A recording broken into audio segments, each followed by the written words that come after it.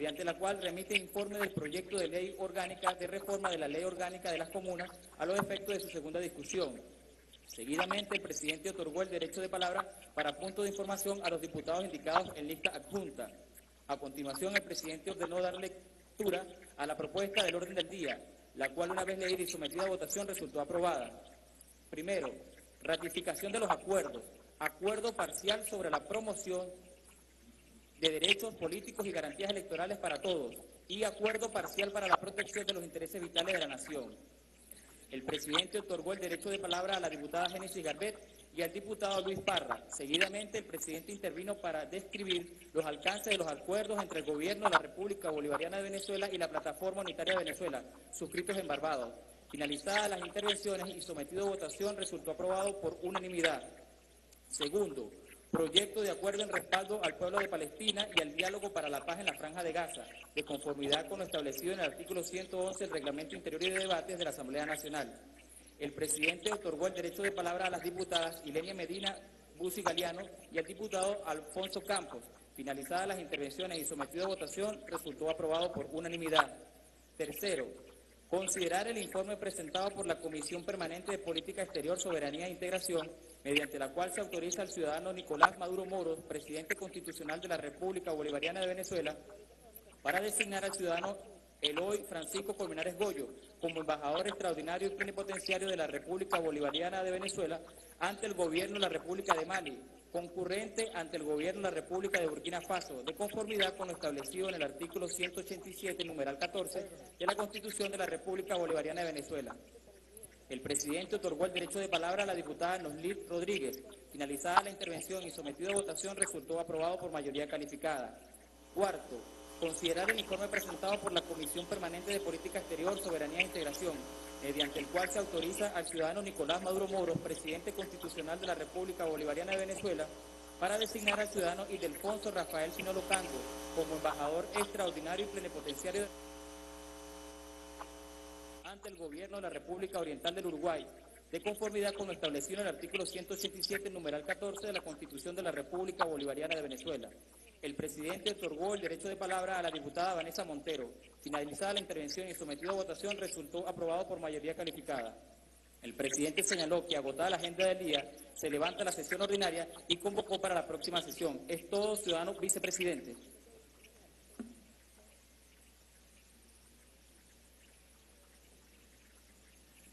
Honorables diputadas y los honorables diputados que estén de acuerdo con aprobar el acta de la sesión ordinaria del día jueves 19 de octubre de 2023, leída por el ciudadano secretario, sírvase indicarlo con la señal de costumbre.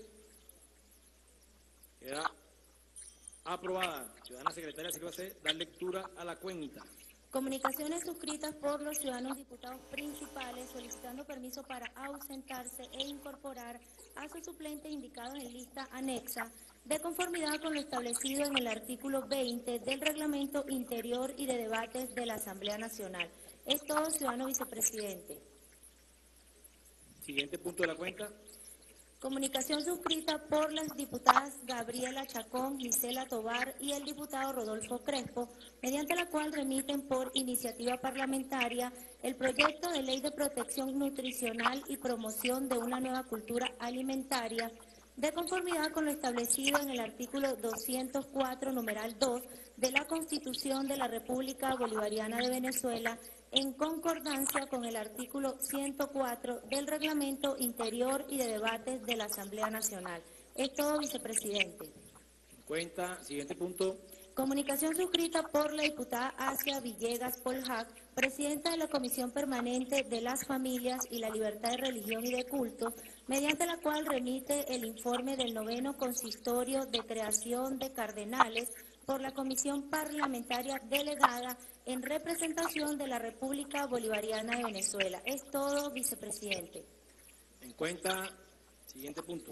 Comunicaciones dirigidas al diputado Jorge Rodríguez Gómez, presidente de la Asamblea Nacional, suscritas por el ciudadano Sergei Melik Bagdasarov, embajador de la Federación de Rusia en la República Bolivariana de Venezuela, mediante las cuales remite el texto de la declaración del Consejo de la Federación de la Asamblea Federal de la Federación de Rusia en apoyo de la dimensión parlamentaria de la cooperación interestatal para afrontar los desafíos globales de nuestro tiempo y el texto titulado Cumplir con los principios de la Carta de la ONU en su totalidad e interconexión es la clave para la paz y la estabilidad internacional. Es todo, vicepresidente. En cuenta, ah, perdón, remítase a los integrantes del Grupo de Amistad Parlamentaria Venezuela-Rusia.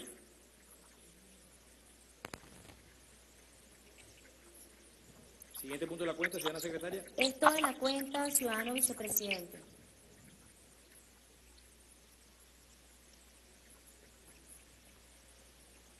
Vamos a dar derecho de palabra para algunos puntos de información. Dejo en el derecho de palabra a la diputada Gabriela Peña.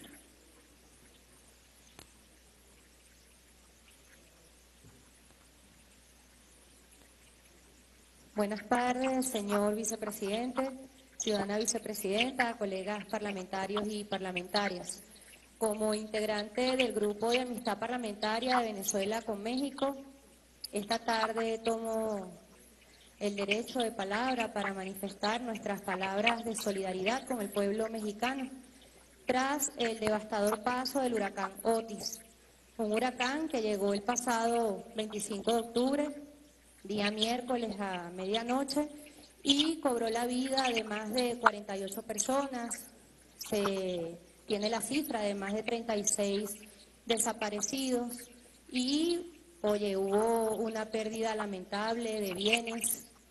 Para nosotros en Venezuela es importante manifestar nuestra solidaridad, pero además enviar nuestras palabras de aliento al presidente Andrés Manuel López Obrador, quien frente a esta situación ha manifestado a todo el pueblo mexicano y nos ha informado que están trabajando para restaurar, restablecer y poner en pie lo más pronto posible a la ciudad de Acapulco.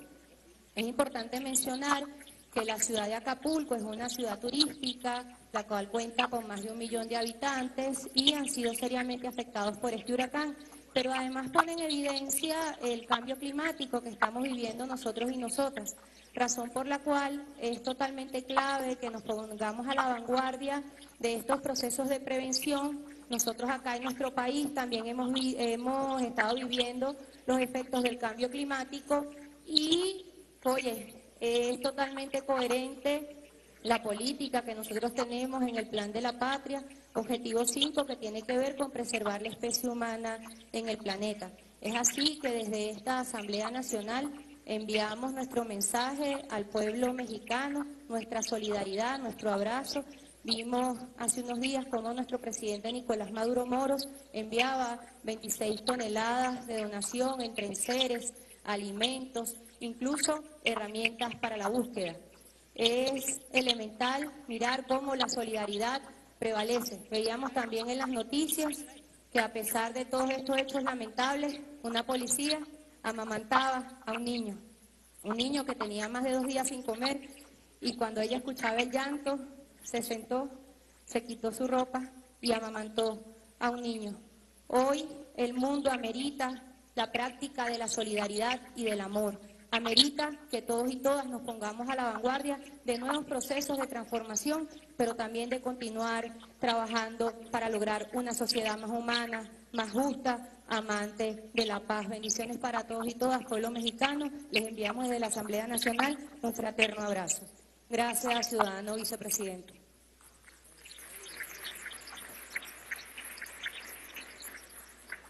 Gracias, diputada. Quiero dejar en el derecho de palabra al diputado William Fariña.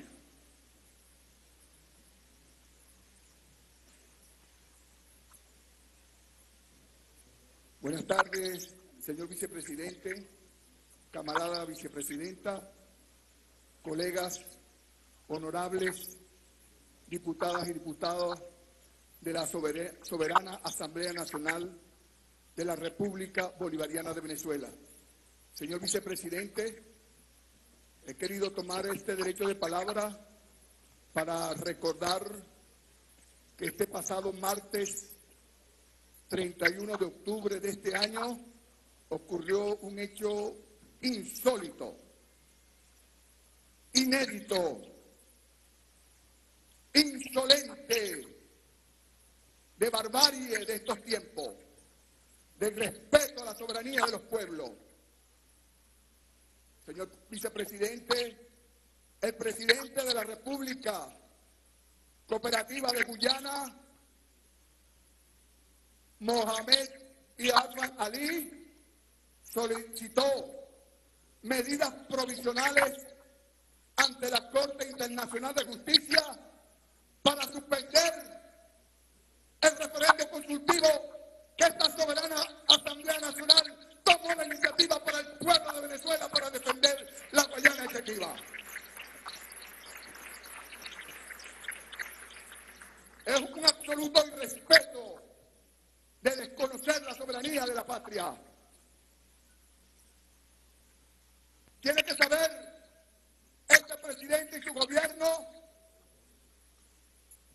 que aquí hay una constitución de nuestra república que está plasmada desde su preámbulo, su articulado, desde el número uno, como principio fundamental, que somos un pueblo soberano, libre, irrevocablemente independiente, para tomar las decisiones soberanas de nuestro pueblo. Igualmente, tiene que saber este presidente que es una suerte de cachorro del imperio de los Estados Unidos que aquí convivimos en este foro político de excelencia de nuestra república, hombres y mujeres de la patria, venezolanos de todas las regiones, de distintos movimientos y asociaciones políticas e ideologías. Y quiero que sepa este presidente que aquí todos somos patriotas, independientes del partido en que militamos. Y seguimos las ideas de Simón Bolívar, el libertador, quien es que nos guía en esta batalla.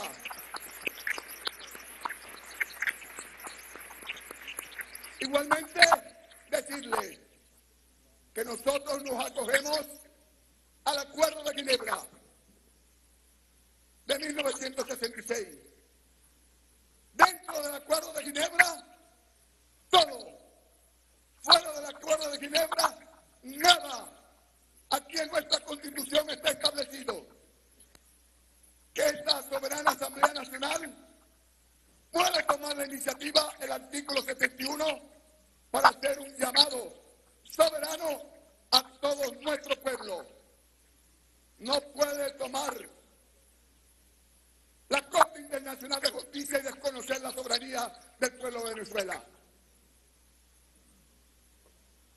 Por eso también le decimos, dentro de la Constitución de la República Bolivariana, todo fuera de la Constitución de nuestra República, nada. Para finalizar, señor vicepresidente, le pido a todos los patriotas que somos la imagen de nuestro pueblo en este foro, que le contestemos a la insolencia de este presidente con nuestro lema institucional. El sol de Venezuela. Venceremos. Muchas gracias, señor vicepresidente.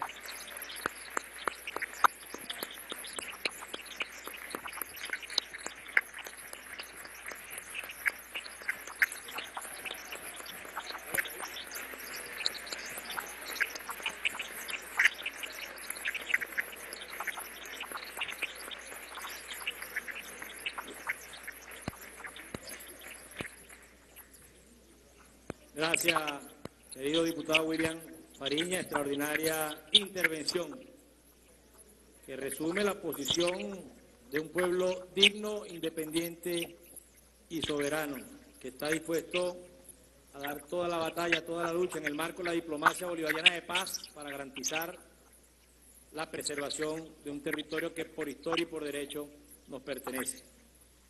Quiero dejar en el derecho de palabra al diputado Oscar Rondero.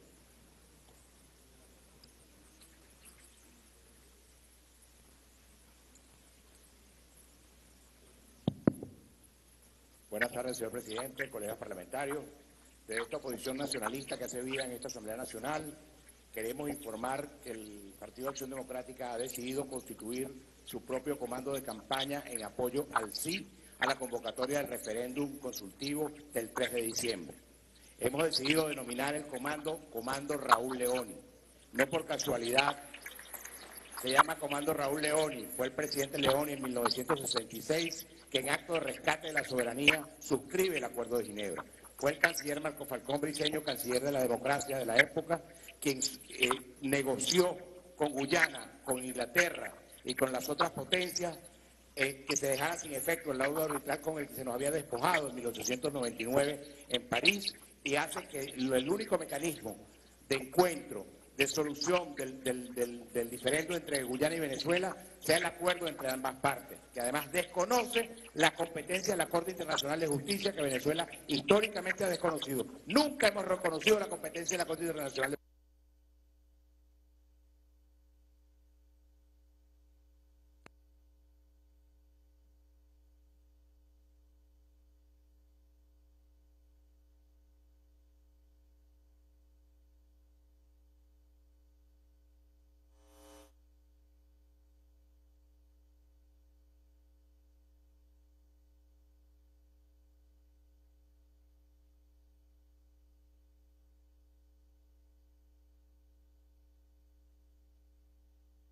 Chávez llamó una vieja reclamación a DECA, la reclamación del Esequibo, que empezó siendo una reclamación a DECA y ahora es una reclamación de todos los venezolanos como tiene que serlo.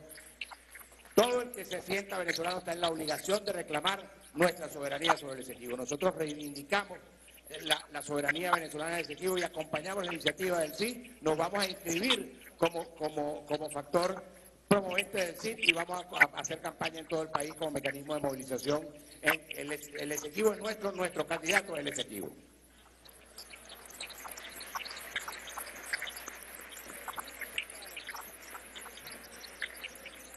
Gracias, diputado. Voy a dejar en el derecho de palabra al diputado Juan Simón Primera.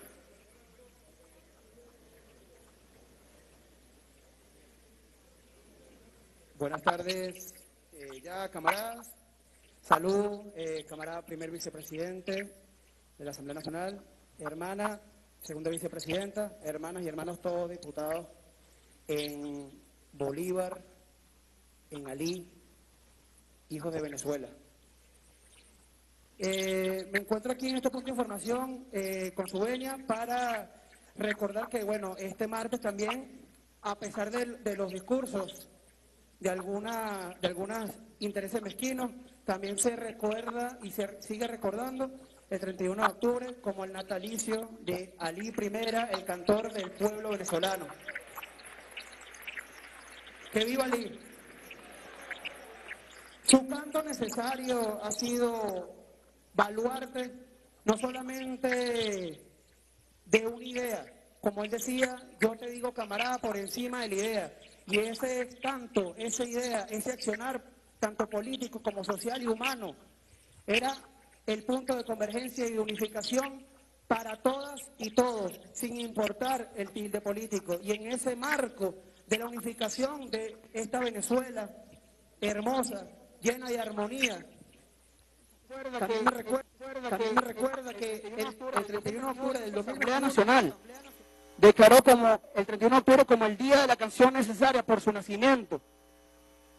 Entonces llevemos a cabo no solamente la canción, llevemos a cabo también la práctica de ese amor por la patria, de ese amor por este tricolor, por ese escudo, por Bolívar, por nuestra Venezuela amada y por el Esequibo, que es la parte más importante de nuestro territorio y en esa defensa tenemos que unificarnos todos en ese abrazo fraterno, todos en Venezuela, los que nos están viendo en este momento, los que nos están escuchando, la importancia de esto, de todo este suceso histórico, es que todos somos parte de esa historia, todos somos parte de esta leyenda y estamos construyéndola en este momento. Así que démonos ese abrazo y gracias a Bolívar que siempre con su idea de amor y de paz nos llevó a cabo para en este momento para darnos ese abrazo. Muchísimas gracias, camaradas. Venceremos que viva la primera el orden del día. No, ahorita te digo. Gracias, diputado. Nos queremos saludar también a nuestra querida diputada Sol Musep, esposa de nuestro admirado llamado Ali Primera. Gracias Juan Simón, gracias Sol por recordarnos siempre el estar al lado de Ali Primera, cantor del pueblo venezolano. No hay más nadie anotado en el derecho de palabra, se cierra el derecho de palabra. Sírvase dar lectura a la propuesta de orden del día, ciudadana secretaria. Punto número uno. Proyecto de acuerdo en respaldo a la Gran Misión Venezuela Mujer, de conformidad con lo establecido en el artículo 111 del Reglamento Interior y de Debates de la Asamblea Nacional. Punto número dos. Proyecto de acuerdo en ocasión de celebrarse el Día Mundial de las Ciudades, de conformidad con lo establecido en el artículo 111 del Reglamento Interior y de Debates de la Asamblea Nacional. Punto número tres Continuación de la segunda discusión del proyecto de ley orgánica para la inclusión, igualdad y desarrollo integral de las personas con discapacidad, de conformidad con lo establecido en el artículo 106 del Reglamento Interior y de Debates de la Asamblea Nacional. Es todo, vicepresidente. En consideración, la propuesta de orden del día, las honorables diputadas y los honorables diputados que estén de acuerdo en aprobar la propuesta de orden del día leído por la secretaria, sírvanse indicarlo con la señal de costumbre. Queda aprobado. Primer punto de orden del día, ciudadana secretaria.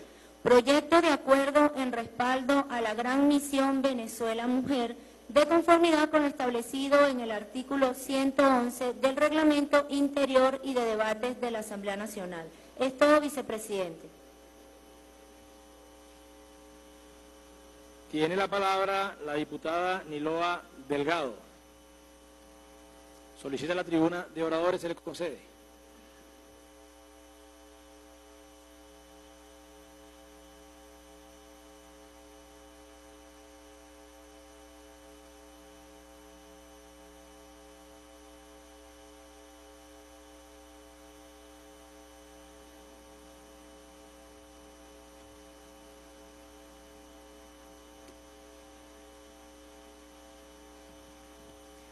Buenas tardes, querida, querido primer vicepresidente, querida Pedro Infante, querida primera, segunda vicepresidenta, América Pérez, secretaria, subsecretario, colegas parlamentarios, colegas parlamentarias. El día de hoy, esta Asamblea Nacional Pueblo de Venezuela en general y bueno, especialmente al pueblo mujer, que desde la semana pasada está de celebración nosotras asistimos, tuvimos la oportunidad de acompañar a nuestro presidente Nicolás Maduro el 25 de octubre, que es un día que reúne a la mujer venezolana, pero también a los compañeros de la otra mitad que se han sumado a lo largo de estos años a la lucha por la igualdad, a la lucha por la liberación de la mujer a plenitud en nuestro país. El 25 de octubre, y quería hacer una pequeña reflexión con respecto al tema. Es el único día de los tres que celebramos a nivel, eh, que recordamos en torno al tema mujer a nivel nacional, en el cual nosotras nos encontramos para celebrar. Fue un, un 25 de octubre del año 99 que nace el Instituto Nacional de la Mujer, de la mano del comandante Hugo Chávez, el instituto que da inicio a todo el sistema de protección que hoy día tiene la mujer venezolana. Fue también un 25 de octubre cuando la Asamblea Nacional Constituyente en el 2017 crea por decreto el Día del Socialismo Feminista y nos encontramos en esa celebración mujeres patriotas de todos los rincones del país. Y ahora, en este 2023, el presidente Nicolás Maduro ratificando ese compromiso que ha tenido con nosotras, siguiendo con el legado del comandante eterno Hugo Chávez nos regala un motivo más para celebrar y crea la gran misión Venezuela Mujer. Es una misión que claramente le da, nos hace ver a nosotras que el presidente Nicolás Maduro sigue escuchando a las mujeres en sus necesidades más sentidas, que sigue acompañándonos en nuestras luchas en este momento, que sigue construyendo además patria con nosotras porque cree inmensamente en el poder creador que tenemos las mujeres y en la capacidad para aportar en todos los espacios en donde nos toque desarrollarnos. Lo hemos demostrado desde que el gigante Hugo Chávez nos abrió la puerta, hemos entrado por todos los rincones, en todos los espacios de la vida pública y privada de nuestro país y donde hay una mujer sabemos que se consiguen los objetivos que nos proponemos. Crea esta misión eh, y en, ella anuncia seis vértices y cinco vértices en principio y luego en su programa con Maduro más anuncia un sexto vértice que son la protección de la salud y la vida de la mujer en todas las etapas de su vida, la educación para el empoderamiento de la mujer venezolana, la mujer sujeto económico independiente es el tercer vértice, el cuarto vértice, la erradicación de la violencia contra la mujer y la justicia de género oportuna, se fortalece el sistema de justicia de género, que es algo que desde esta asamblea, desde nuestra llegada a esta nueva Asamblea Nacional, nosotras hemos estado pujando desde el 2021 porque hemos hecho muchas cosas, pero sabemos que particularmente en ese sistema de justicia de género nos hace falta afinar muchos detalles. Entonces el presidente Nicolás Maduro dio la orden de que se pongan las pilas en todas las instituciones que tengan que ver con esto y, y empujen en el trabajo para que nuestra mujer tenga la justicia oportuna y a tiempo. Además de eso, el quinto vértice que anunciaba nuestro presidente Nicolás Maduro eh, habla de la mujer protagonista y en la participación en Venezuela. Allí, bueno, habló y puso a disposición todos los ministerios vinculados al emprendimiento de nuestro país. Hizo algunos anuncios bien importantes para el pueblo mujer y bueno, seguíamos de celebración. Y luego, finalmente, el día lunes, en el programa Con Maduro Más, crea un sexto vértice que viene a acompañar esta misión Venezuela Mujer, que es el de comunicación y cultura para la mujer, que puso bajo la responsabilidad del ministro para la cultura en nuestro país. El presidente Nicolás Maduro, y ya lo decíamos, ratifica una vez más su compromiso con la mujer venezolana. Y nosotras, quienes nos, desarrollamos nuestro trabajo aquí en el seno de la Asamblea Nacional, no podíamos dejar pasar el lanzamiento de esta gran misión que une el trabajo de muchos ministerios que además pone bajo la responsabilidad para la supervisión directa a nuestra compañera diputada y primera combatiente de Venezuela, Cilia Flores, y pone en la Secretaría Ejecutiva allí a la compañera Delcy Rodríguez para que supervisen de manera directa a todos los ministerios, las presidentes de institutos, todos los que están vinculados a cualquiera de los seis vértices. Nosotras sabemos que esta misión no solo trae alegría, mucha alegría, en la mujer venezolana, sino que además de ello trae respuestas concretas de cosas que estaban pendientes para las mujeres de nuestro país. Entonces les decía, esta asamblea no se podía quedar atrás y nosotras aquí, el día de hoy, venimos a presentar un acuerdo en respaldo a la, a la gran misión Venezuela Mujer. Paso y lo leo, considerando que el pasado 25 de octubre del presente año, el presidente constitucional de la República Bolivariana de Venezuela, Nicolás Maduro Moros, creó la gran misión Venezuela Mujer como parte de las políticas, planes y programas sociales que buscan generar un impacto positivo en la vida de las mujeres venezolanas con el objetivo de apoyar a la mujer y garantizar sus derechos relativos a la salud y a la vida, la educación para su empoderamiento, la mujer como sujeto económico independiente, la erradicación de la violencia y la justicia de género oportuna, considerando que este proceso histórico de la revolución bolivariana posee un carácter feminista, impulsado y priorizado por el comandante eterno Hugo Rafael Chávez Fría, quien desarrolló las políticas, planes y programas necesarios para reavivar el liderazgo, participación y protagonista, protagonismo de la mujer venezolana en los ámbitos políticos, económicos, sociales, culturales, educativos y tecnológicos, como bastión de la lucha del poder popular y centro de la vida de la patria, considerando que la historia venezolana ha demostrado la indiscutible admirable y admirable participación de la mujer en las luchas por la independencia, la soberanía de Venezuela, principalmente las mujeres afrodescendientes e indígenas, quienes con su valentía y coraje lucharon incansablemente y apostaron su vida por la libertad de las mujeres y el pueblo venezolano frente a los tratos crueles e inhumanos cometidos por parte del imperio español siendo ejemplos de rebeldía y fervor revolucionario las lideresas Casica Urquía, Manuela Sáenz, Josefa Camejo, Luisa Cáceres de Arismendi, Juana Ramírez la Avanzadora, Ana María Campos, entre otras. Acuerda, primero, respaldar la creación de la gran misión Venezuela Mujer en favor de continuar el fortalecimiento de las políticas, planes y programas para promover, defender y garantizar los derechos de la mujer venezolana y asegurar su participación y protagonismo en los distintos ámbitos de la sociedad. Segundo, continuar el desarrollo de las políticas legislativas en favor de reivindicar el papel histórico de la mujer venezolana en la sociedad y promover las luchas feministas orientadas a la defensa de sus derechos y la deconstrucción del sistema patriarcal. Tercero, publicar el presente acuerdo en la Gaceta Oficial de la República Bolivariana de Venezuela, dar máxima difusión del mismo, dado, firmado y sellado en el Palacio Federal Legislativo, sede de la Asamblea Nacional, en Caracas, a los dos días del mes de noviembre del año 2023, años 213 de la Independencia, 164 de la Federación y 24 de la Revolución.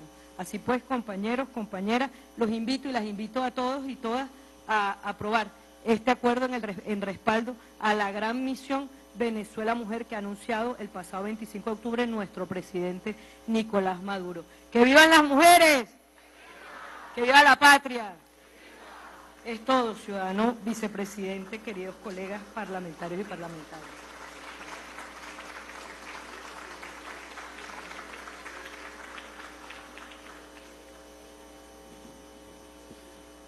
Gracias, diputada Niloa Delgado. Queremos enviarle desde esta Asamblea Nacional, en nombre de todos los diputados y diputadas, nuestro reconocimiento al Gobierno Nacional por la creación de la gran misión Venezuela Mujer, que consta de seis vértices.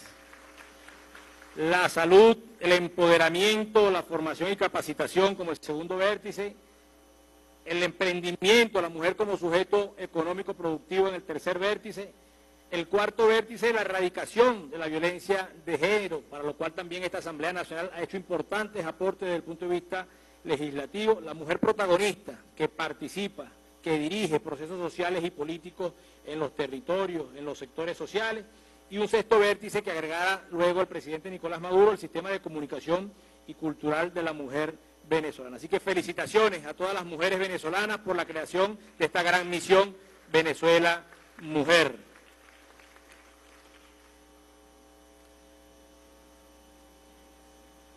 Se va a cerrar el debate sobre este punto. Se cierra. Las honorables diputadas y los honorables diputados que estén de acuerdo en aprobar el acuerdo en respaldo a la gran misión Mujer Venezuela Mujer, de acuerdo con lo establecido en el artículo 111 del Reglamento Interior de Debates de la Asamblea Nacional, sírvanse en manifestarlo con la señal de costumbre. Queda aprobado por mayoría este proyecto de acuerdo.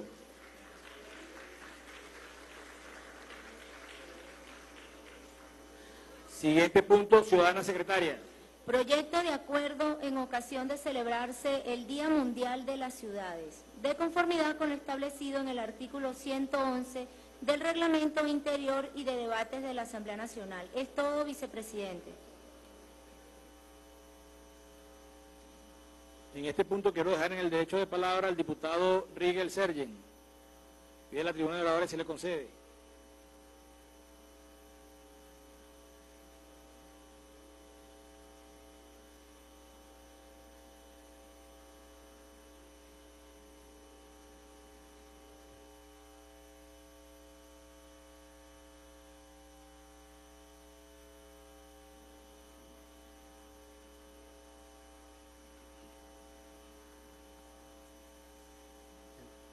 Muchas gracias, primer vicepresidente.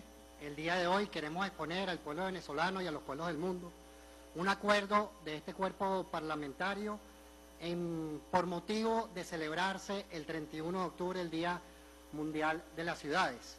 Y para tal fin eh, queremos exponer algunos puntos que tienen que ver con el tema de las ciudades, cuáles ciudades, ¿no?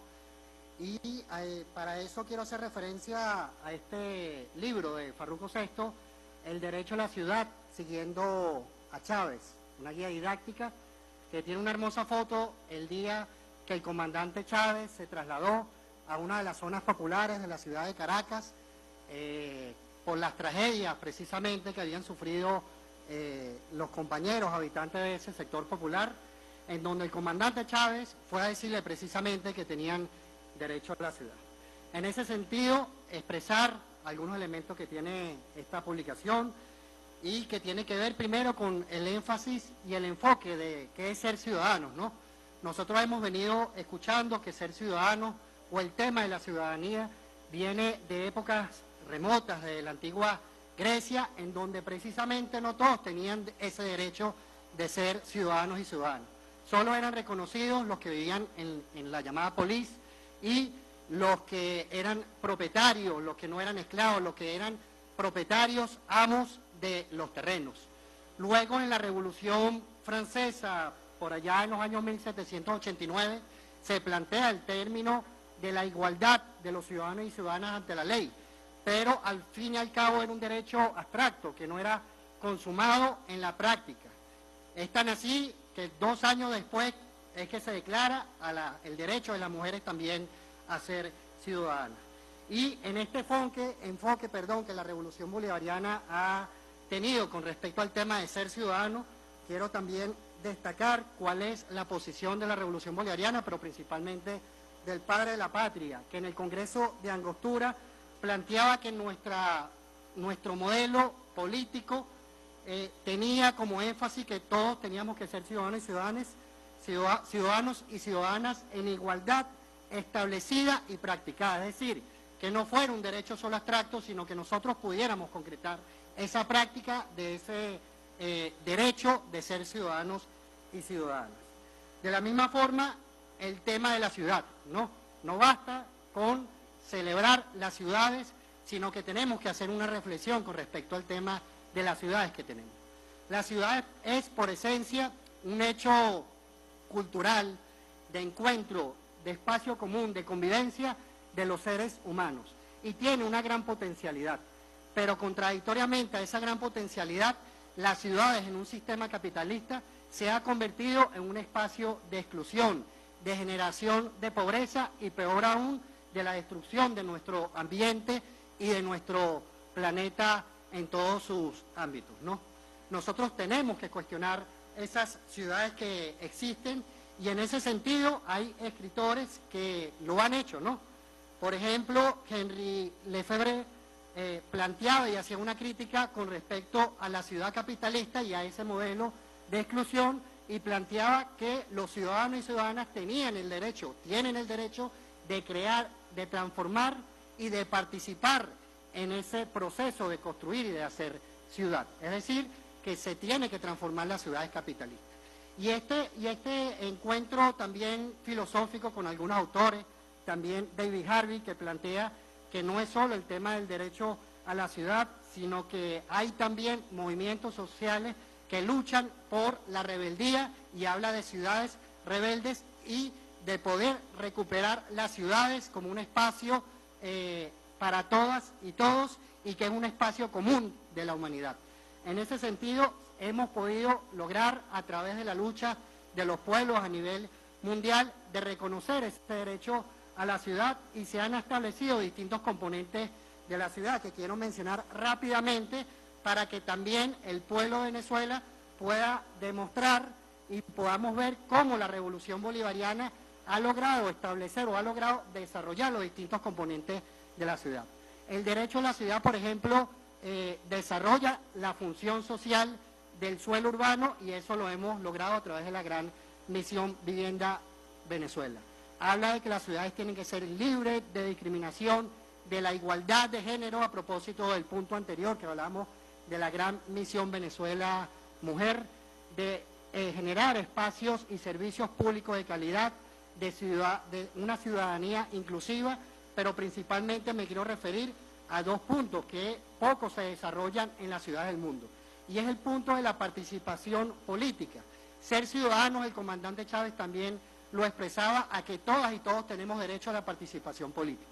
Y el modelo revolucionario que nosotros venimos desarrollando y planteando a través de la organización del pueblo, del autogobierno en el territorio a través de los consejos comunales y, el proyecto comunal plantea una mayor participación política de los ciudadanos y de las ciudadanas. Pero también la constitución de economías diversas e inclusivas Nosotros, hace poco, el presidente Nicolás Maduro tuvo un encuentro el 20 de, octubre con los consejos comunales y comunas y hablaba de cómo nosotros teníamos que garantizar la consolidación de esa economía comunal y comunitaria. Por eso hablamos que nuestro país es uno de los pocos países que ha logrado desarrollar el derecho a la ciudad. ¿no? Y de la misma forma, este cuerpo legislativo viene trabajando para seguir profundizando en temas como considerar que las ciudades también debe de generar ciudades para el cuido. Reconocer, a propósito también del punto anterior, que las mujeres son las principales que ejercen el tema del cuido y que nosotros tenemos que seguir profundizando un sistema del cuido para que no solo las mujeres tengan esa carga. En ese sentido, compañeros y compañeras, decir que nosotros en la Revolución Bolivariana, en estos años de Revolución Bolivariana, hemos podido garantizar otro modelo de ciudad. Pero también hay que decirlo, y somos bastante responsables, y hay que reconocer que en los últimos años hemos disminuido esa gran marcha culpa del bloqueo criminal que nos ha impuesto el gobierno de los Estados Unidos. Y el Día Mundial de las Ciudades es también un día para decir que cese el bloqueo criminal que nos tienen al pueblo de Venezuela, que limita la acción plena y la amplitud del gobierno bolivariano para garantizar eh, el cumplimiento de las necesidades de los ciudadanos y ciudadanas. Y tampoco se puede desarrollar el derecho de la ciudad si los imperios y los estados sionistas están destruyendo ciudades como lo que viene sucediendo en la ciudad de Gaza. Este día también es para alzar la voz por esas injusticias que están eh, sucediendo a nivel mundial. Por último, expresar también que nuestro plan de la patria establece un modelo de ciudad en el tercer objetivo que plantea que Venezuela tiene, tenemos que generar la Venezuela potencia en lo cultural, en lo económico, en lo espiritual. Y el tercer objetivo plantea que hay un modelo de ciudad eh, que se expresa, por ejemplo, en implementar la ciudad compacta con un modelo de desarrollo sostenible.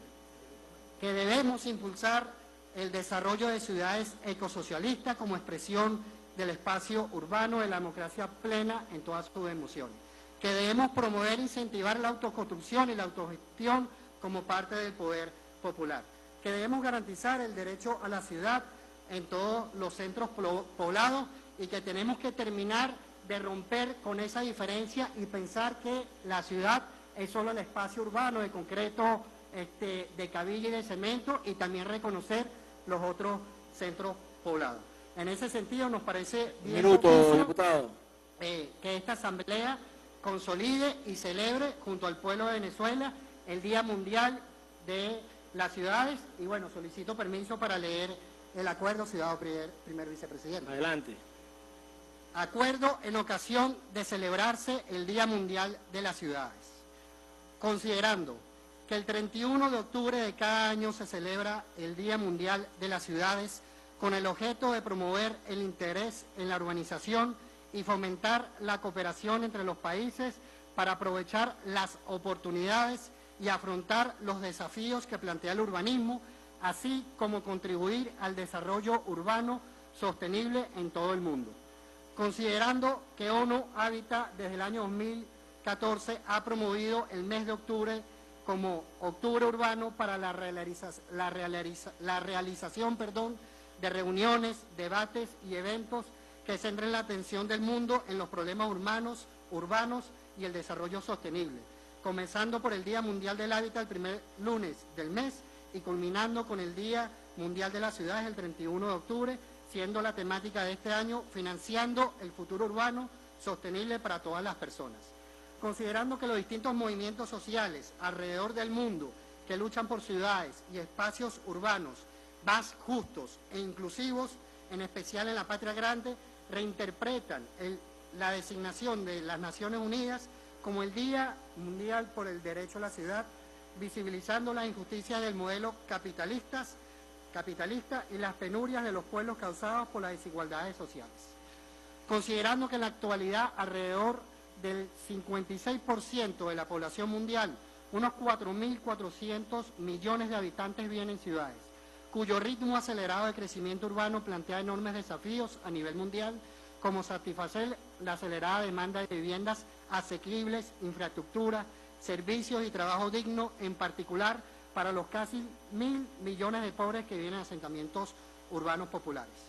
Acuerda, primero, acompañar, saludar y celebrar en la República Bolivariana de Venezuela el Día Mundial de la Ciudad, denominado por los movimientos sociales como el Día Mundial por el Derecho a la Ciudad, incentivando la visión de las ciudades como espacio de derecho y no de privilegio. Segundo, ratificar nuestro compromiso desde el Poder Legislativo de la República Bolivariana de Venezuela en seguir luchando por ciudades y territorios más justos, con el desarrollo de economías diversas e inclusivas, por el derecho a la vivienda de todas y todos y contra las prácticas de desahucios o desalojos de los más humildes, y por combatir el cambio climático que genera el sistema capitalista depredador del medio ambiente y de la existencia misma de la humanidad. Tercero, denunciar y alzar una vez más nuestra voz en el marco de la conmemoración de este día contra el bloqueo económico criminal impuesto por el gobierno de los Estados Unidos que limita al Estado venezolano en su capacidad de acción para el desarrollo de programas y políticas que garanticen el impulso de ciudades y hábitats más justas, inclusivas y sostenibles para la población venezolana. Cuarto, publicar en el, en el presente acuerdo la, la Gaceta Oficial de la República Bolivariana de Venezuela y dar máxima difusión del mismo.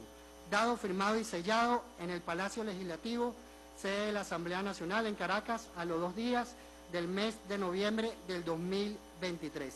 Año 213 de la Independencia, 164 de la Federación y 24 de la Revolución Bolivariana.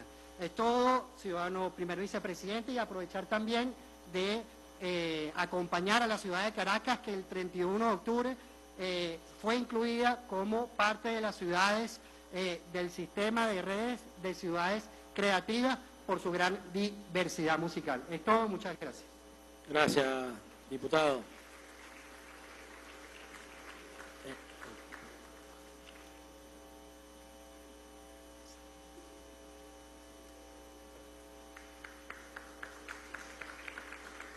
En este punto quiero dejar en el derecho de palabra a la diputada Angelique Tamayo.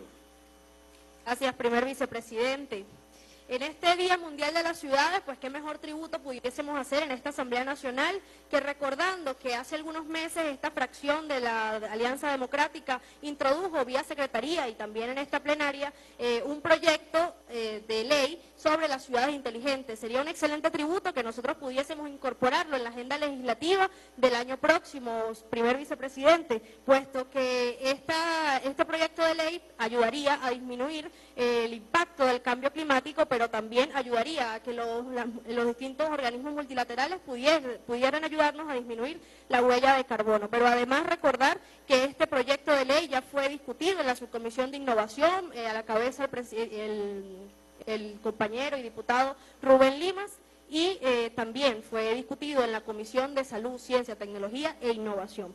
Pero además, eh, recordar que las ciudades inteligentes tienen como objetivo poder utilizar la información eh, y las comunicaciones, de la perdón, utilizar la información, la tecnología y las comunicaciones para poder ayudar a resolver los problemas de las ciudades superpobladas, como es el caso, por ejemplo, de Caracas en sus principales problemas, como es el tema de la basura, de la movilidad, el tema de los servicios públicos, como el agua, la electricidad. Entonces yo creo que esto viene a ser un proyecto bien interesante que pudiésemos... Eh, abocarnos a debatir en esta Asamblea Nacional y que debería traer eh, buenos acuerdos y buenas soluciones, no solo para la ciudad de Caracas, sino para el resto de Venezuela. Entonces recordar eso, vicepresidente, poder eh, solicitar una vez más que se incluya en la agenda legislativa y que ayudemos a disminuir la huella de carbono que tiene nuestra ciudad, pero también el impacto climático. Gracias. Gracias, diputada. Quiero dar en el derecho de palabra al diputado Carlos Mogollón.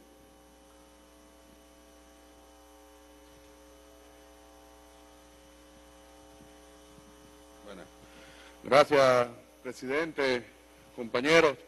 Bueno, como diputado por Caracas, celebrando la incorporación de Caracas en la lista de la UNESCO, un esfuerzo muy grande de todo el equipo, de nuestra alcaldesa, del presidente de la República. Creo que es importante señalar que la prioridad es el derecho a las ciudades por una ciudad sin segregación, por una ciudad que no sea segmentada.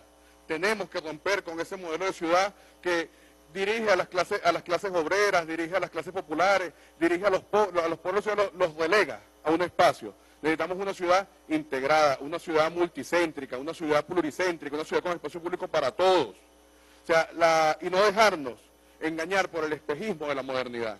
Una, una falsa modernidad eurocentrista que habla, es verdad, las ciudades con acceso a la tecnología para todos, o las, o las llamadas ciudades inteligentes, es importante, sí, pero siempre y cuando sea masivo, siempre y cuando sea para todos, siempre y cuando no sea para promover la, la segregación entre unos y otros. Saludamos estos esfuerzos, pero sobre todo saludamos los esfuerzos de esta Asamblea Nacional por seguir avanzando en la consecución de los derechos, el derecho al disfrute, el derecho al esparcimiento, el derecho a la familia. Y en el caso de la bancada revolucionaria, es el espacio público, el espacio socialista por excelencia, es el espacio donde todos compartimos, nos creemos, compartimos y hacemos patria. Y es en el espacio público de nuestras ciudades donde vamos a defender nuestra integridad como nación es donde vamos a, donde vamos a debatir y donde vamos a, dar las asambleas que tengamos que dar para, para, para, discutir, en este caso, el, la propuesta y la defensa de nuestros equipos. Entonces, presidente, abogamos y queremos hacer un llamado, felicitar este acuerdo, pero sobre todo con una ciudad que sea para todos. No puede haber una ciudad para los ricos y una ciudad para los pobres. Condenamos enérgicamente algunas posturas, algunas denuncias que se han hecho en alcaldías del este de la ciudad, específicamente la alcaldía de Baruta, que, eh, cuando hace concentraciones en las plazas para ver los juegos de nuestra Vinotinto o para algo, ha de forma brusca segregado, ha discriminado y a, habitantes de las barriadas del oeste de la ciudad los ha sacado y los monta en patrullas y los saca hasta las riberas del municipio. Esa práctica no puede permitirse. este acuerdo, tal como la ley que venimos trabajando y que va para segunda discusión del derecho de la ciudad, tiene que ser para formar ciudades para todos, ciudades, ciudades que se integren y ciudades que avancen a la construcción de un país mejor. Muchas gracias. Gracias, diputado.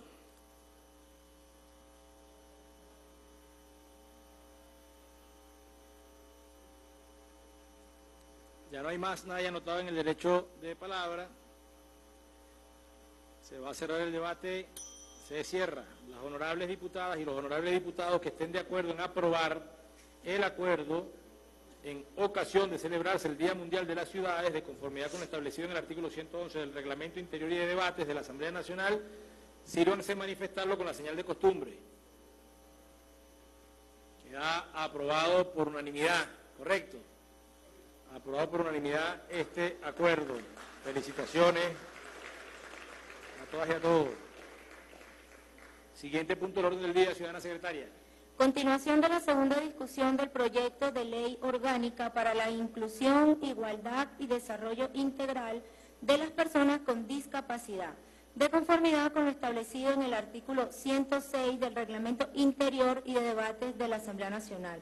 Es todo, vicepresidente. Ciudadana secretaria, sírvase informar el estatus del referido proyecto de ley. En la sesión ordinaria del día martes 10 de octubre del presente año, se aprobó hasta el artículo 49. Fue diferido el artículo 50 del informe, correspondería a iniciar la discusión del precitado informe en el artículo 51. Es todo, vicepresidente. Ciudadana secretaria, inicia la lectura. Centésimo décimo cuarto. Se propone aprobar sin modificación la denominación del epígrafe del artículo 51 el cual queda redactado en los siguientes términos. Epígrafe, animales de asistencia. Es todo, vicepresidente. Consideración, aprobado. Siguiente. Centésimo décimo quinto. Se sugiere aprobar con modificación el contenido del artículo 51, quedando redactado... Disculpe, secretaria, hay una consideración, diputado Omar Ávila. Sí, presidente. Eh, quedamos eh, en el artículo 50, precisamente era eh, el que estaba denominado de ayudas técnicas, que ahora la propuesta es de las herramientas y dispositivos técnicos. Y consiguiente era el artículo 50, no 51, eh, para entonces corregir el inicio de la continuación de la discusión de la ley. Comisión General, ven acá, diputado Ávila, diputada Yurami.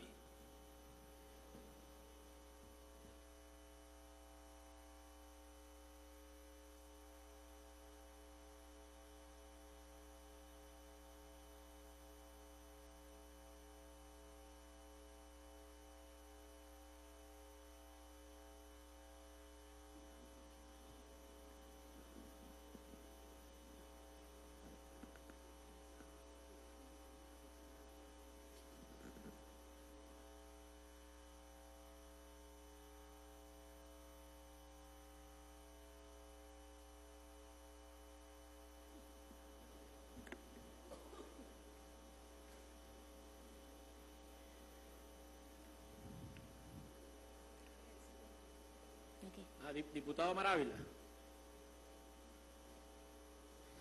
Sí, presidente, para eh, retirar entonces eh, lo, la propuesta que acabo de realizar y bueno, avancemos. Gracias, diputado. Continúe, ciudadana secretaria. Centésimo décimo quinto. Se sugiere aprobar con modificación el contenido del artículo 51, quedando redactado en los siguientes términos. Artículo 51. Las personas con discapacidad que tengan como acompañantes y auxiliares animales entrenados para sus necesidades de apoyo y servicio tienen derecho a que permanezcan con ellas y las acompañen a todos los espacios y ambientes donde se desenvuelven. Por ninguna disposición privada o particular se les podrá negar el ejercicio de este derecho en cualquier lugar público o privado, donde se permita el acceso de personas.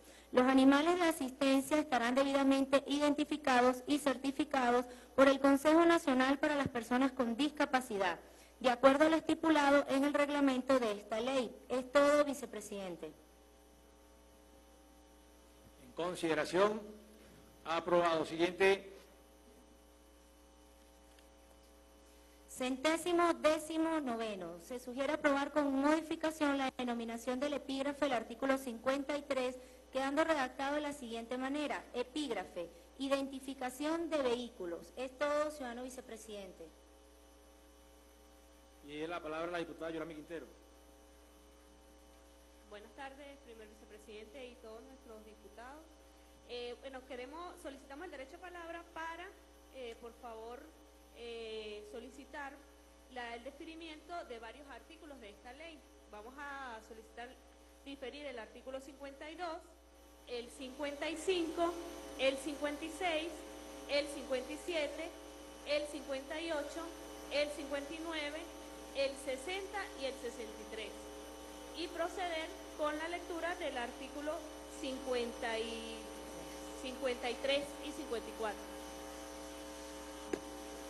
Gracias, querida diputada. Es importante señalar, yo llamé a Comisión General hace unos breves minutos, porque hay unas denominaciones propias en esos artículos que se está evaluando la nomenclatura, por lo cual preferimos diferir estos artículos y avanzamos en la ley y cuando ya se resuelva esa nomenclatura retomamos esos artículos. Aclaro y entonces pido a los diputados y diputadas que estén de acuerdo con la propuesta hecha por la diputada Yorami Quintero de diferir estos artículos, hacerlo con la señal de costumbre. Se difieren estos artículos. De continuidad, ciudadana secretaria. Centésimo décimo noveno. Se sugiere aprobar con modificación la denominación del epígrafe del artículo 53, quedando redactado de la manera siguiente. Epígrafe.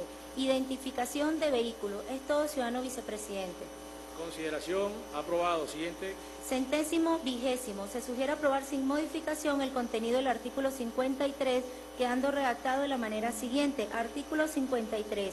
Toda persona con discapacidad que lo requiera tendrá derecho a aportar una placa especial para vehículo automotor expedida por las autoridades competentes, los organismos, instituciones u organizaciones que sean propietarios o propietarias de vehículos automotores que transporten regularmente personas con discapacidad deben identificarlos con el símbolo internacional de personas con discapacidad y portar una placa especial expedida por las autoridades competentes.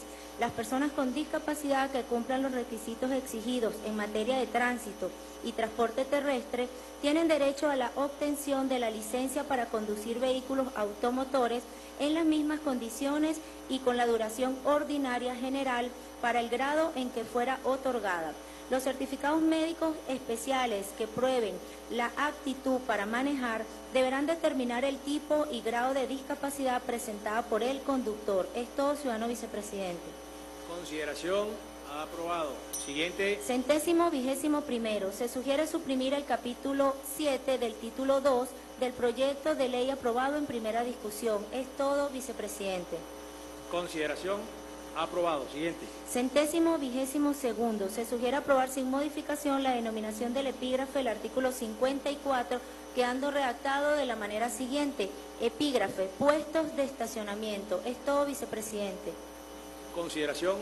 Aprobado. Siguiente. Centésimo vigésimo tercero. Se sugiere aprobar con modificación el contenido del artículo 54, quedando redactado de la manera siguiente. Artículo 54. Los estacionamientos de uso público y privado deben adecuar puestos exclusivos para vehículos que transporten o sean conducidos por personas con discapacidad, de acuerdo a las disposiciones establecidas por la Comisión Venezolana de Normas Industriales y el Fondo de Desarrollo para la Normalización, Calidad, Certificación y Metrología en lo que respecta a dimensiones, proporcionalidad, ubicación y demás características. Los mismos tienen que estar ubicados los más próximos al medio transitable peatonal e inmediatamente a las entradas de las edificaciones o ascensores debidamente identificados con el símbolo internacional de accesibilidad en el pavimento. Es todo, vicepresidente. En consideración. Aprobado. Siguiente. Centésimo vigésimo sexto. Se sugiere suprimir el capítulo 8 del título 2 del proyecto de ley aprobado en primera discusión. Es todo, vicepresidente. En consideración. Aprobado. Siguiente. Centésimo trigésimo sexto. Se sugiere suprimir el título 3 y capítulo 1 del proyecto de ley. Es todo, ciudadano vicepresidente. Consideración. Aprobado. Siguiente. Centésimo cuadragésimo. Se sugiere suprimir el capítulo 2 del título 3 del proyecto de ley aprobado en primera discusión. Es todo, vicepresidente. En consideración. Aprobado. Siguiente. Centésimo cuadragésimo cuarto. Se sugiere aprobar que el artículo 61 pase a ser parte del artículo 67. Es todo, vicepresidente. Consideración. Aprobado. Centésimo, centésimo cuadragésimo quinto. Se sugiere aprobar la creación y denominación del epígrafe del artículo 61 del presente proyecto de ley quedando redactado de la manera siguiente. Epígrafe. Personas con trastorno del espectro autista. Es todo, vicepresidente. En consideración. Aprobado. Siguiente.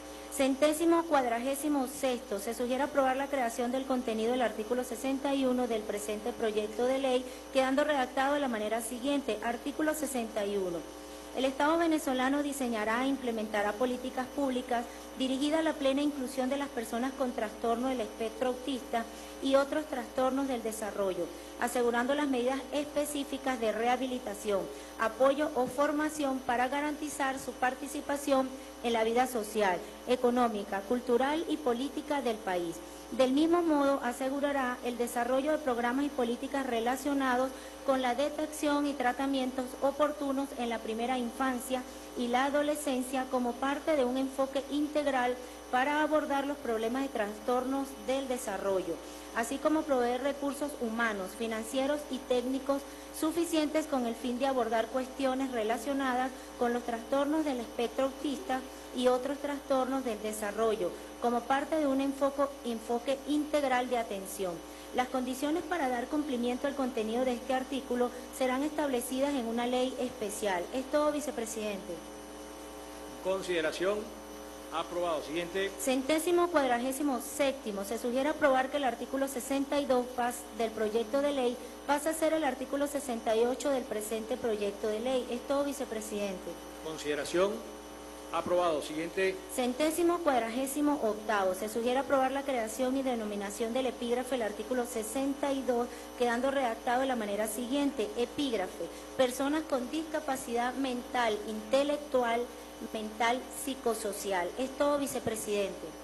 Consideración. Aprobado. Siguiente. Centésimo cuadragésimo noveno. Se sugiere aprobar la creación del contenido del artículo 62, quedando redactado de la manera siguiente. Artículo 62. El Estado venezolano diseñará e implementará políticas públicas dirigidas a la plena inclusión de las personas con discapacidad mental, intelectual, mental, psicosocial, asegurando las medidas específicas de rehabilitación, apoyo o formación para garantizar su participación en la vida social, económica, cultural y política del país. Del mismo modo, asegurará el desarrollo de programas y políticas relacionadas con la detección y tratamientos oportunos en la primera infancia y la adolescencia como parte de un enfoque integral para abordar su atención, inclusión y autonomía. Las condiciones para dar cumplimiento al contenido de este artículo serán establecidas en una ley especial. Es todo, vicepresidente. En consideración, aprobado. Siguiente. Centésimo quincuagésimo. Se sugiere aprobar que el artículo 63 pase a ser el artículo 60, 78. Es todo, vicepresidente. Consideración, aprobado. Siguiente. Centésimo quincuagésimo tercero. Se sugiere aprobar la creación y denominación del capítulo 4 del presente proyecto de ley quedando redactado de la manera siguiente. Acápite, capítulo 4. Sistema Nacional para la Participación, Dignificación y Atención Integral a las Personas con Discapacidad. Es todo, vicepresidente. Consideración, aprobado. Siguiente. Centésimo quincuagésimo cuarto. Se sugiere aprobar con modificación la denominación del epígrafe del artículo 64, quedando redactado de la manera siguiente. Epígrafe, definición, objetivos, principios y funcionamiento. Es todo, vicepresidente. Consideración, aprobado. Siguiente. Centésimo quincuagésimo quinto. Se sugiere aprobar con modificación el contenido del artículo 64, quedando redactado de la manera siguiente. Artículo 64. El Sistema Nacional para la Participación, Dignificación y Atención Integral a las Personas con Discapacidad es el conjunto de órganos, las entidades y servicios que tienen entre sus funciones formular, ejecutar, coordinar, integrar, orientar, supervisar y evaluar las políticas, planes, programas, proyectos y acciones para la participación, dignificación y atención integral de las personas con discapacidad. Asimismo, ejecuta sus funciones bajo los principios de colaboración, transversalización, cooperación, solidaridad, corresponsabilidad, enfoque diferenciado, respeto a los derechos humanos de las personas con discapacidad. Este sistema funciona a través de un conjunto articulado de acciones intersectoriales de servicio público, desarrolladas por órganos y entes del Estado y por la sociedad organizada en materia de discapacidad. Es todo, vicepresidente. Consideración, aprobado. Siguiente. Centésimo quincuagésimo sexto. Se sugiere aprobar con modificación la denominación del epígrafe del artículo 65, quedando redactado de la manera siguiente. Epígrafe, integrantes. Es todo, vicepresidente. Consideración, aprobado. Siguiente. Centésimo quincuagésimo séptimo. Se sugiere aprobar con modificación el contenido del artículo 65, quedando redactado de la manera siguiente. Artículo 65. El Sistema Nacional para la Participación, Dignificación y Atención Integral a las Personas con Discapacidad estará integrado por 1. Ministerio del Poder Popular con competencia en materia de protección social. 2. Consejo Nacional para las Personas con Discapacidad. 3. Ministerio Público. 4. Defensoría del Pueblo. 5. Servicio Autónomo de Defensa Pública. 6. Misiones, grandes misiones y micromisiones para personas con discapacidad. 7. Organizaciones de y para personas con discapacidad. 8. Comités comunitarios para personas con discapacidad. 9. Programas y servicios para personas con discapacidad. Es todo, vicepresidente. Consideración, aprobado. Siguiente. Centésimo quincuagésimo octavo. Se sugiere aprobar con modificación la denominación del epígrafe del artículo 66 quedando redactado de la manera siguiente. Epígrafe, órgano rector. Es todo, vicepresidente. Consideración. Aprobado. Siguiente. Centésimo quincuagésimo noveno. Se sugiere aprobar con modificación el contenido del artículo 66, quedando redactado de la manera siguiente. Artículo 66. El Ministerio del Poder Popular con competencia en materia de protección social será el órgano rector del Sistema Nacional para la Participación, Dignificación y Atención Integral a las Personas con Discapacidad, siendo sus competencias las siguientes. 1. Definir los lineamientos, políticas, planes y estrategias dirigidas a la inserción e inclusión a la sociedad. de las personas con discapacidad de manera participativa y protagónica para contribuir al desarrollo de su calidad de vida y al desarrollo de la nación. Dos, efectuar el seguimiento, la evaluación y el control de las políticas, planes, programas, proyectos y proponer los correctivos que considere necesarios. Tres, revisar y proponer las modificaciones a la normativa legal aplicable. Cuatro, requerir del Consejo Nacional para las Personas con Discapacidad la información administrativa y financiera de su gestión. Cinco, evaluar en forma continua el desempeño y los resultados de la gestión del Consejo Nacional para las Personas con Discapacidad. Seis, proponer el reglamento de esta ley y aprobar las normas técnicas propuestas por el Consejo Nacional para las Personas con Discapacidad. Siete, establecer formas de interacción y coordinación conjunta entre instituciones públicas y privadas a los fines de esta ley. 8. Garantizar el cumplimiento de las obligaciones del Sistema Nacional de Atención Integral a las personas con discapacidad.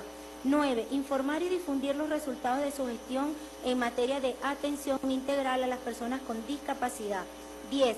Las demás que les sean asignadas por esta ley, por otras leyes que regulen la materia y por el Ejecutivo Nacional. Esto, vicepresidente.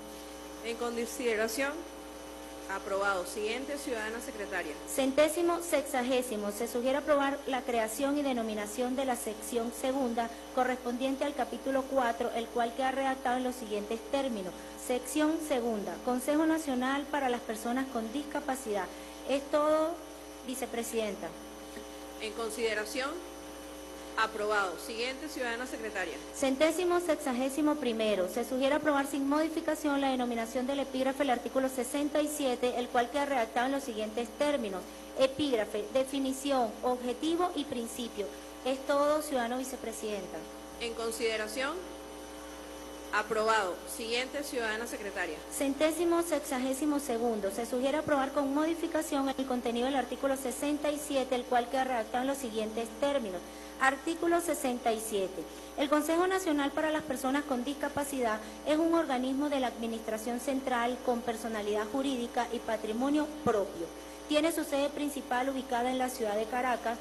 Se encuentra bajo la dirección y control general de la presidenta o presidente de la República en su carácter de jefe del Ejecutivo Nacional y ejerce funciones de diseño y ejecución de los lineamientos, políticas y planes en materia de discapacidad.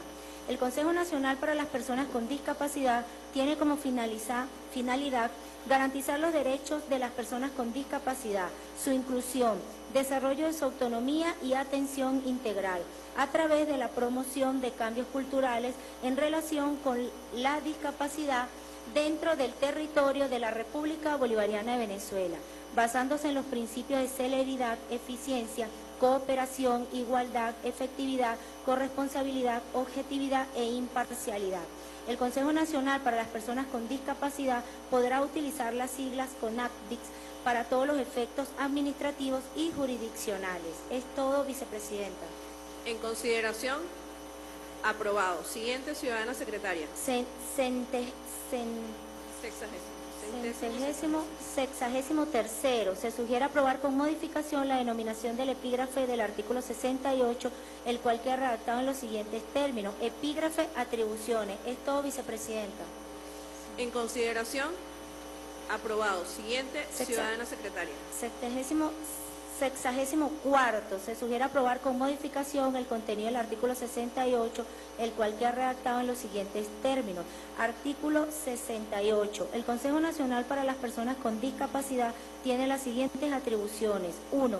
Presentar y someter a consideración del Ministerio con competencia en materia de protección social la planificación o formulación de políticas con relación a protección, atención, inclusión, equiparación de oportunidades y fomento de la autonomía de las personas con discapacidad. 2. Coordinar y brindar apoyo técnico para la inclusión del enfoque diferenciado en las políticas públicas desarrolladas por el Estado venezolano, con el fin de garantizar la inclusión real y efectiva de las personas con discapacidad, el respeto de sus derechos humanos y la erradicación de cualquier tipo de discriminación. 3.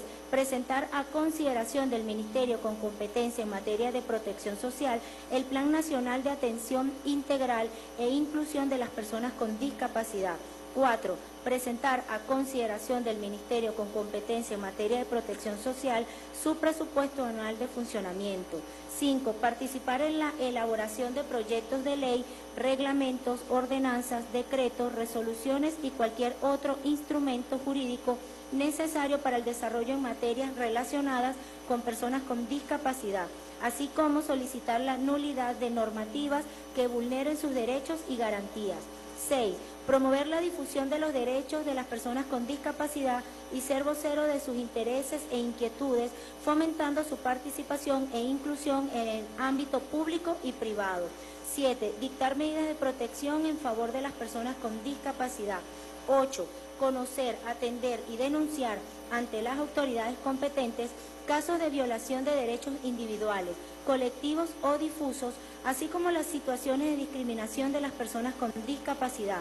9. Gestionar la denuncia ante el Ministerio Público cuando se conozcan situaciones que configuren infracciones o delitos cometidos en contra de personas con discapacidad o necesidades especiales y hacer seguimiento de dicha denuncia. 10 mantener, organizar, dirigir y supervisar el registro de personas con discapacidad, trabajadores con discapacidad, instituciones, empresas, asociaciones, sociedades, fundaciones, cooperativas u otro tipo de organizaciones de personas con discapacidad, así como programas y servicios para personas con discapacidad y sus familias, tanto públicos como privados.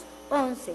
Garantizar las condiciones de accesibilidad de las personas con discapacidad a espacios públicos y privados a través de la inspección y certificación del cumplimiento de las normas técnicas en esta materia, así como la evaluación y aprobación de proyectos de construcción, modificación o remodelación de infraestructura.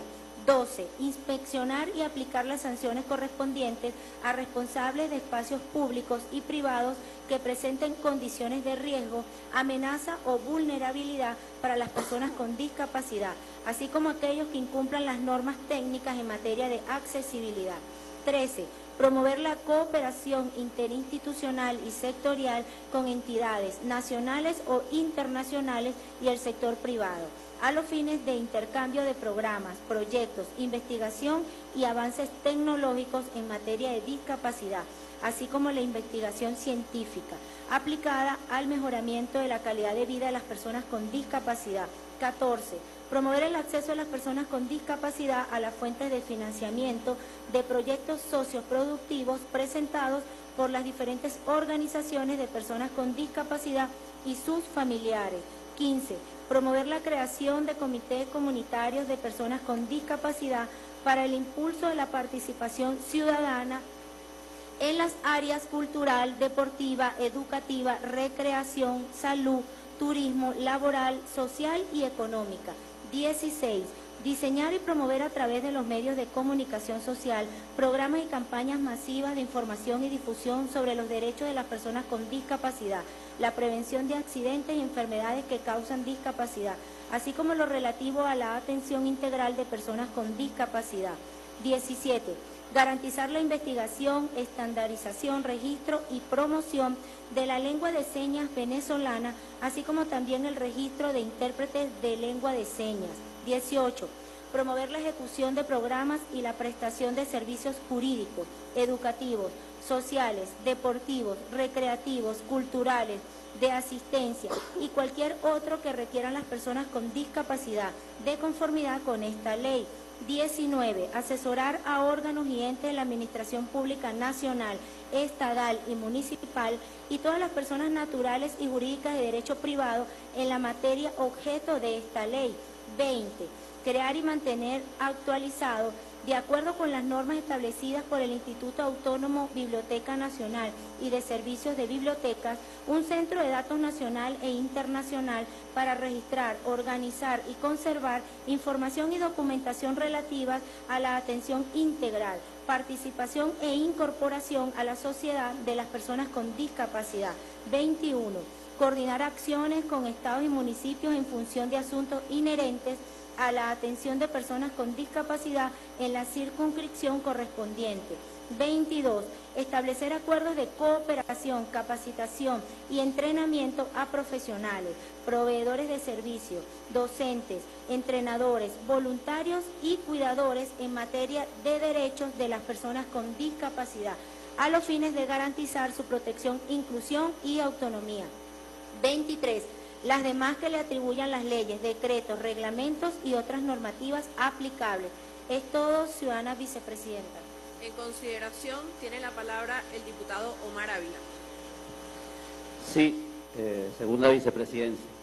En el numeral 10, eh, tal cual lo establece la convención en su artículo 30, que hay que hacer del conocimiento público y de forma accesible, dice textualmente, los estados partes asumirán la responsabilidad de difundir estas estadísticas y asegurar que sean accesibles para las personas con discapacidad y otras personas.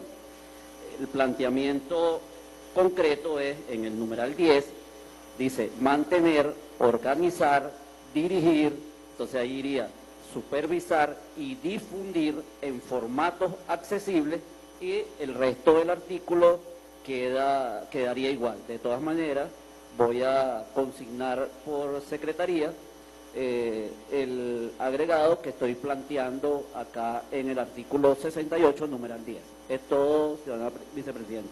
Gracias, diputado. Diputada Mela está de acuerdo. Bueno, le pido al diputado Omar Ávila que entregue a Secretaría la nueva propuesta y le pido a nuestra secretaria que lea nuevamente el numeral 10 con la propuesta del diputado Omar Ávila para someter a votación.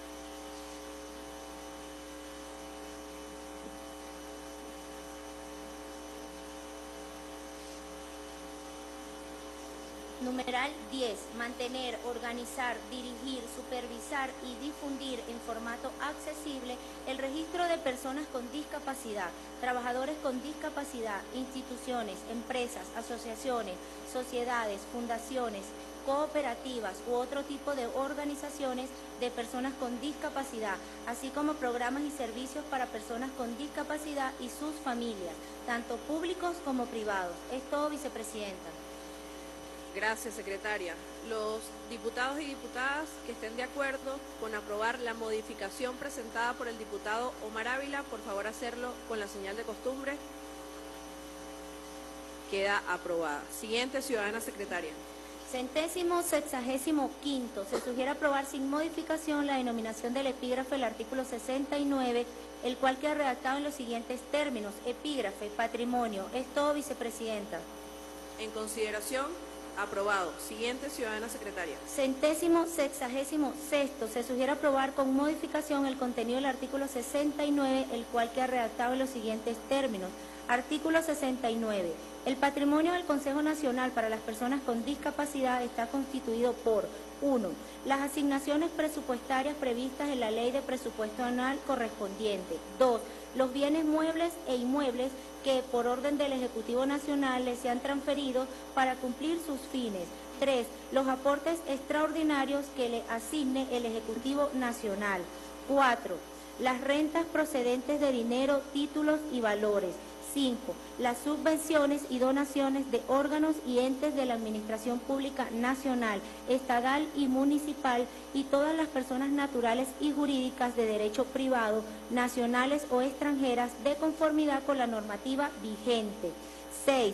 Los recursos provenientes de acuerdos bilaterales, instituciones internacionales y organismos multilaterales de conformidad con la normativa vigente. 7. Los recursos provenientes de los contribuyentes especiales con fines empresariales. 8. Los bienes y rentas adquiridos por cualquier otro tito- título lícito. Es todo, vicepresidenta. En consideración, aprobado. Siguiente, ciudadana secretaria. Centésimo sexagésimo séptimo. Se sugiere aprobar con modificación la denominación del epígrafe del artículo 70, el cual queda redactado en los siguientes términos. Epígrafe, Consejo Directivo. Es todo, vicepresidenta. En consideración, aprobado. Siguiente, ciudadana secretaria. Centésimo sexagésimo octavo. Se sugiere aprobar con modificación el contenido del artículo 70, el cual queda redactado en los siguientes términos. Artículo 70. El Consejo Nacional para las Personas con Discapacidad tendrá un consejo directivo integrado por una presidenta o un presidente y una vicepresidenta o un vicepresidente designada o designado por la presidenta o presidente de la República. Cinco directoras o directores designadas o designados por la presidenta o presidente del Consejo Nacional para las Personas con Discapacidad correspondientes.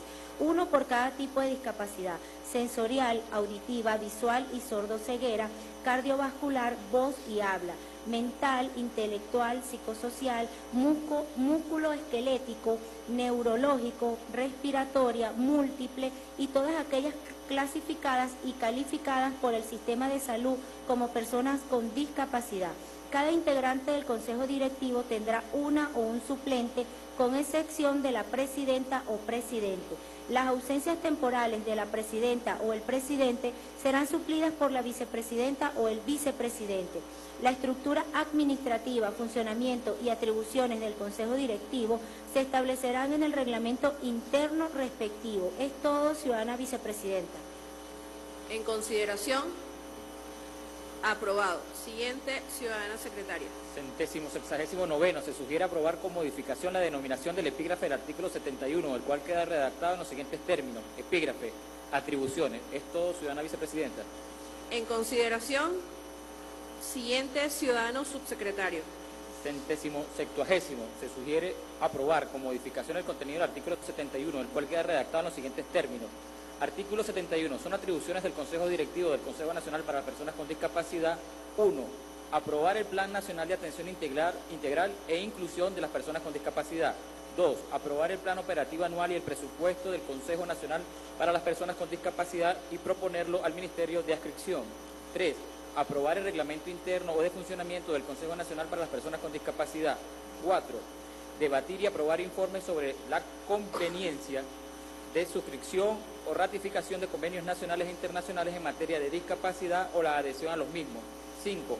Autorizar la celebración de contratos y convenios administrativos en los que participe el Consejo Nacional para las Personas con Discapacidad atendiendo a las disposiciones legales vigentes sobre licitaciones.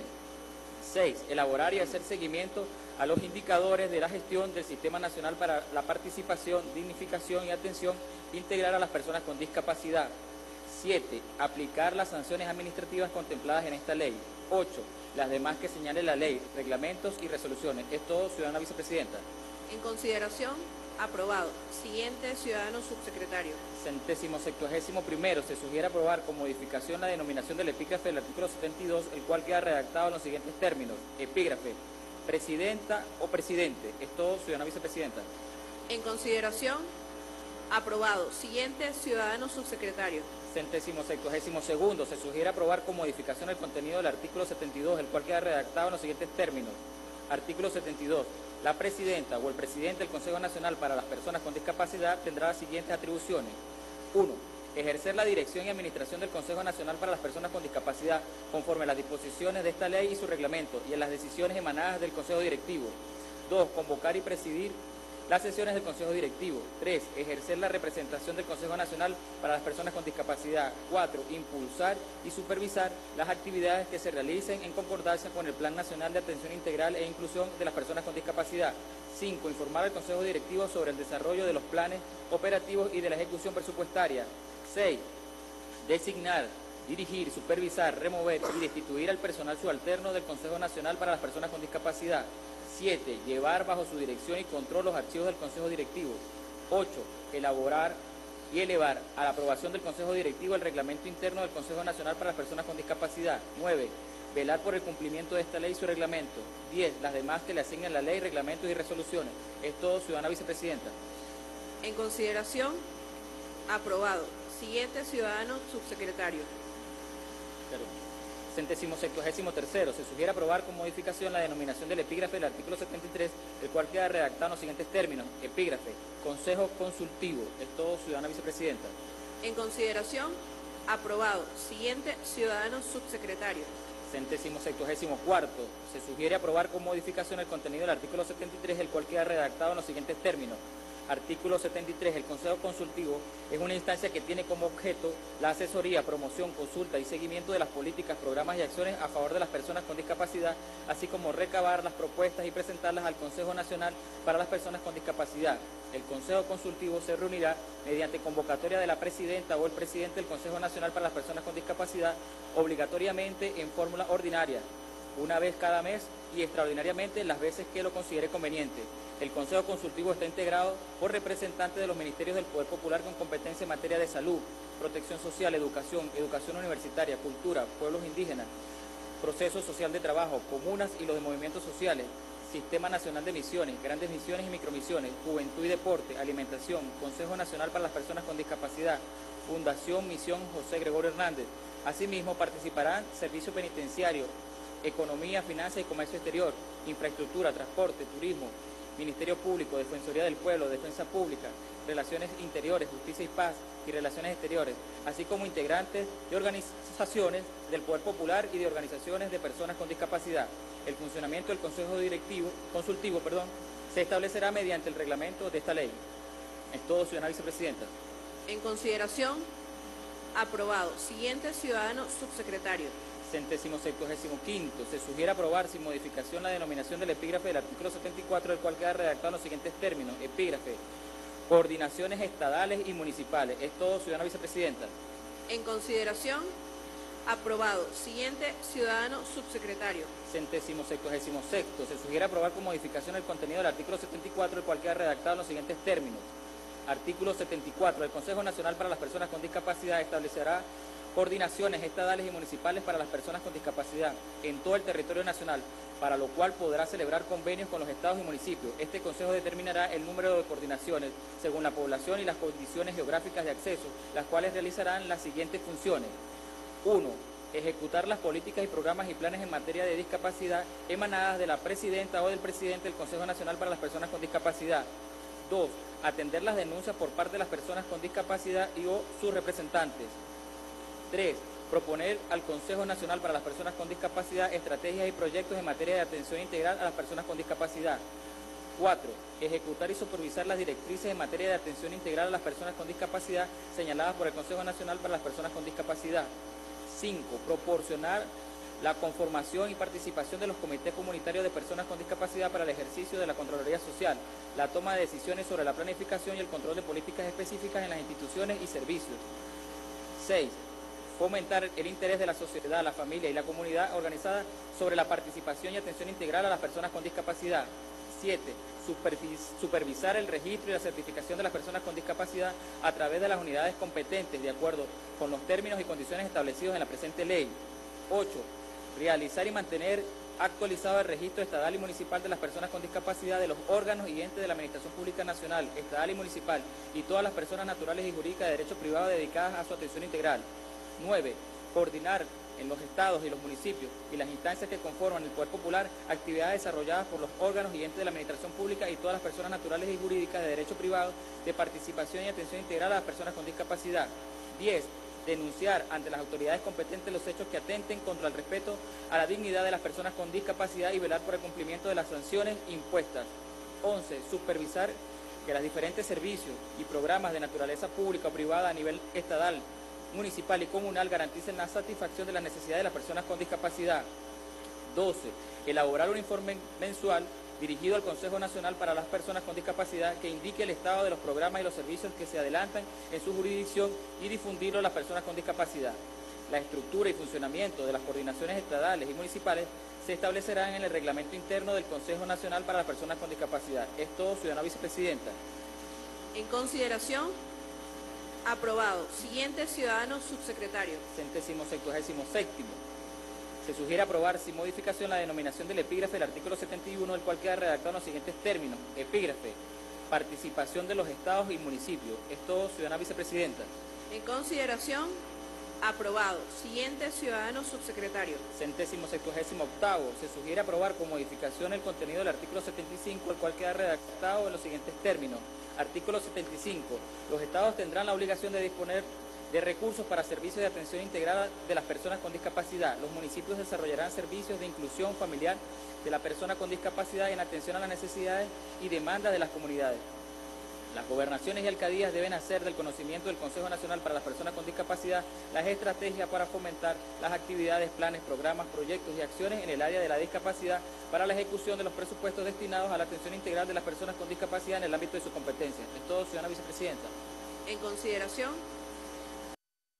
se sugiere aprobar sin modificación la denominación del epígrafe del artículo 76, el cual queda redactado en los siguientes términos. Epígrafe.